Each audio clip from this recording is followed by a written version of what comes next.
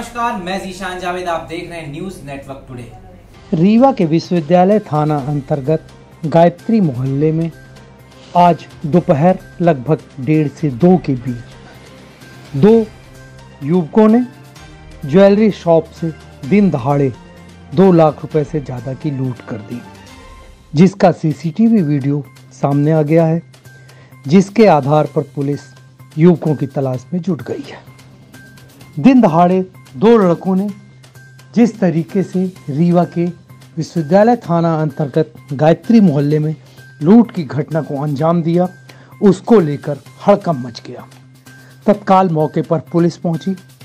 Police ने CCTV footage के आधार पर अपनी जाँच प्रारंभ कर दी है। इन लड़कों ने पहले इसी तरीके से एक और दुकान में लूट का प्रयास किया, लेकिन उसमें उनको कामयाबी नहीं मिली, जिसके चलते वो गायत्री मोहल्ले में उस ज्वेलरी शॉप में पहुँचे, जहाँ उस वक्त दोपहर के वक्त महिला अकेली थी।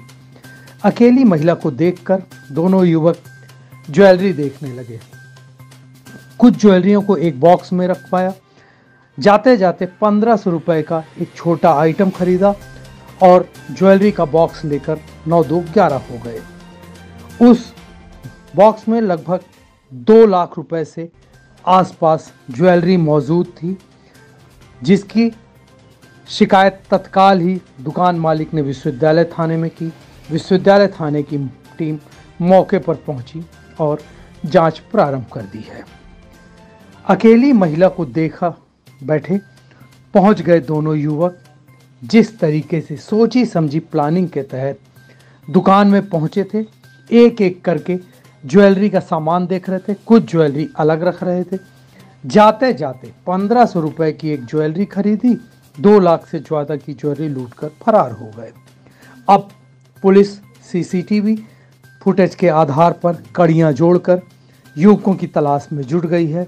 हमारी टीम ने महिला के पति और पुलिस कप्तान रीवा विवेक सिंह से बात की।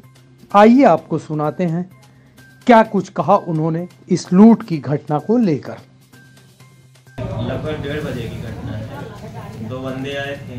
हम तो थे नहीं, मैडम तो सब सामान अंगूठी हो गई टॉप्स हो गए, चार पाँच अंगूठी थी। पाँच अंगूठी और तीन चार टॉप्स थे। उनको सब अलग करवाए अलग करवाने के बाद उसको एक पन्नी में डलवाए और पन्नी में डलवा के फिर डब्बे में रखवा दिए।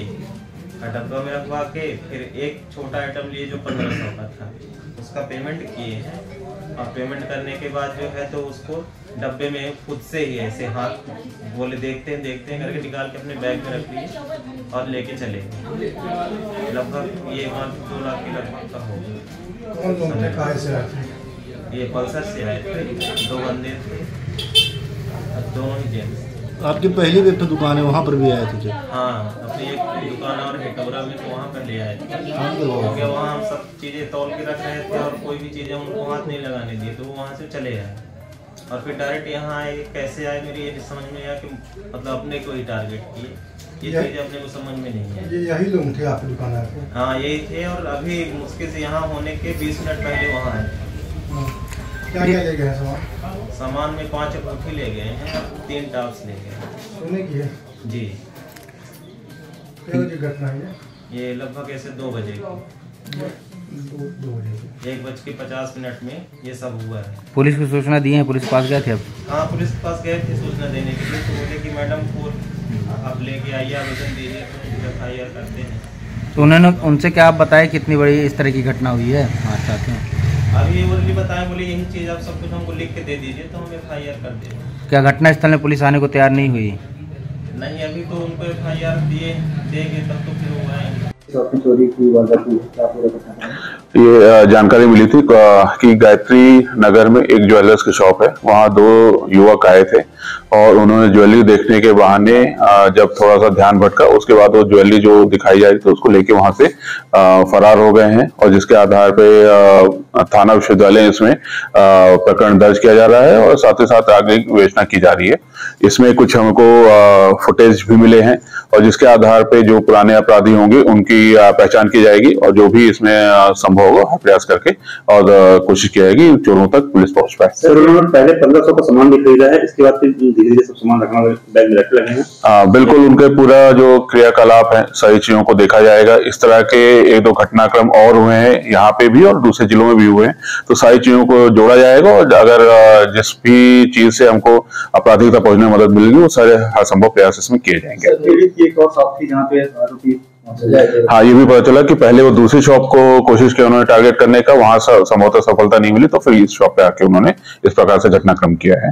और वो सारी चीज़ें भी हमको बेचना मदद करेंगी। ताज़ा तरीन खबरों से जुड़े रहने के लिए हमारे चैनल को सब्सक्राइब करें और बेल आइकन दबाएँ और देखते रहिए न्यूज़ नेटवर्क टुडे।